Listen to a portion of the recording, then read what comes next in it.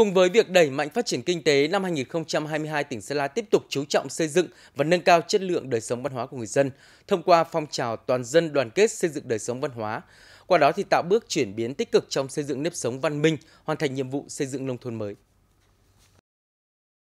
Với điều kiện về kinh tế xã hội của tỉnh có bước phát triển toàn diện, tình hình an ninh chính trị ổn định, trật tự an toàn xã hội được đảm bảo, nhu cầu hưởng thụ văn hóa, văn nghệ, thể dục thể thao của nhân dân ngày càng cao là cơ sở để chỉ đạo và triển khai phong trào toàn dân đoàn kết, xây dựng đời sống văn hóa. Thực hiện tốt nếp sống văn minh, giữ gìn bản sắc văn hóa dân tộc là truyền thống tốt đẹp của nhân dân các dân tộc tỉnh Sơn La, đã có 100% số bản tổ dân phố xây dựng được hương ước, quy ước phù hợp với pháp luật hiện hành và thuần phong mỹ tục của dân tộc.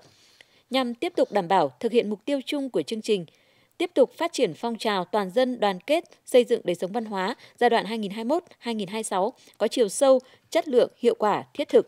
Ngày 10 tháng 2 năm 2022, Ủy ban Nhân dân tỉnh Sơn La cũng đã ban hành kế hoạch số 41 đưa ra các chỉ tiêu toàn tỉnh trong năm 2022.